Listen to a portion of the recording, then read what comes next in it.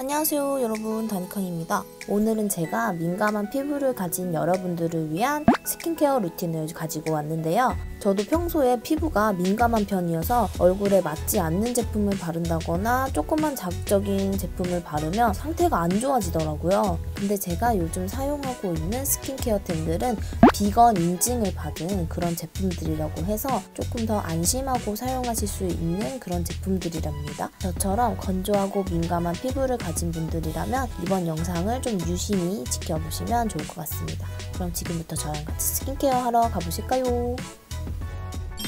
오늘 제가 소개하는 아이템은 총 4가지인데요. 영국 비건 협회의 엄격한 심사를 거친 비건 인증 제품들을 소개하도록 하겠습니다. 먼저 BRTC Centella cica 토너인 패드입니다. 무너진 피부 밸런스를 회복시켜주는 진정 토너 패드인데요. 한쪽은 매끈한 면이고 다른 면은 엠보싱 면이기 때문에 닦토부터 부분 진정팩까지 다양하게 활용할 수 있어요.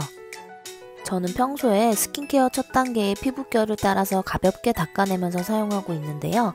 딱 한 장으로 빠르게 케어할 수 있는 4중 cica 케어 진정 토너 패드이기 때문에 바쁜 아침이나 피곤한 저녁, 간단하게 스킨케어 할 때 쓰면 정말 좋더라고요.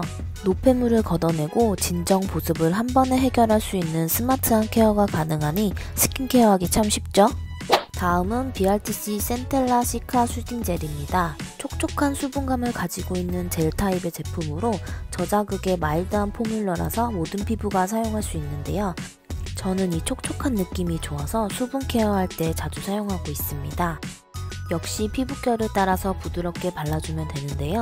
피부 진정의 대표 성분인 센텔라 아시아티카를 95%나 함유해 민감한 피부도 안심하고 사용할 수 있답니다. 특히 식물성 보습 특허 성분으로 피부의 순한 보습을 채워주고 산뜻하게 흡수되는 젤 제형이라 피부 자체에 부담이 덜하더라고요. 다음으로 에센허브 호호바 오일입니다. 오일이라고 하면 무겁게 느끼는 분들이 좀 많으실 텐데요. 끈적임 없이 빠르게 흡수되면서 무겁지 않아 저는 굉장히 마음에 들더라고요. 화학적인 정제 과정을 거치지 않은 자연 그대로의 호호바씨 오일 100%라서 다양하게 활용하기에도 굉장히 좋은데요. 역시 자극적이지 않아서 피부 자체에 부담 없이 사용하기 좋습니다. 잠들기 전에 이렇게 적당량 덜어서 피부에 흡수시키면 다음날 일어났을 때 촉촉한 피부를 만날 수 있어요. 또한 요즘처럼 추운 겨울에 건조해진 손과 손톱에도 바르면 풍부한 영향을 느낄 수 있는데요. 오일이지만 과하게 번들거리거나 끈적임이 없어서 핸드케어도 가능하더라고요. 그리고 잦은 탈색으로 푸석푸석해진 머릿결을 케어하기 위해 모발에도 종종 사용하고 있는데요. 거칠었던 머리카락이 에센허브 호호바 오일을 만나고 매끈해진 모습이 정말 놀랍죠? 마지막으로 BRTC V10 tone-up 크림입니다. 이 tone-up 크림엔 10가지 멀티비타민과 비타민 나무 열매 추출물이 함유되어 있다고 하는데요. 허옇게 뜨는 느낌이 아니라 자연스럽게 피부톤이 화사해지는 표현이 가능하더라고요. 한쪽만 바르고 비교해보니까 어휴 장난 아니죠? 평소 매일 메이크업을 하기 때문에 부쩍 예민하고 민감해진 피부가 고민이었는데요. 이 토너 크림은 순한 성분이라서 매일 써도 피부가 부담이 없어 좋더라고요. 건조하거나 뻑뻑하지 않고 부드럽고 촉촉하게 발리기 때문에 뭉치거나 끼임 없이 깔끔하고 뽀송하게 마무리된답니다.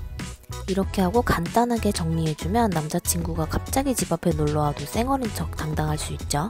네, 오늘 이렇게 저랑 같이 스킨케어 루틴을 한번 살펴봤는데요. 찬바람이 많이 불고 건조해서 피부가 좀 걱정인 분들은 저처럼 이런 스킨케어 루틴을 따라해보시면 어떨까 하는 생각이 듭니다. 그럼 다음에도 재밌는 영상으로 찾아오겠습니다. 안녕!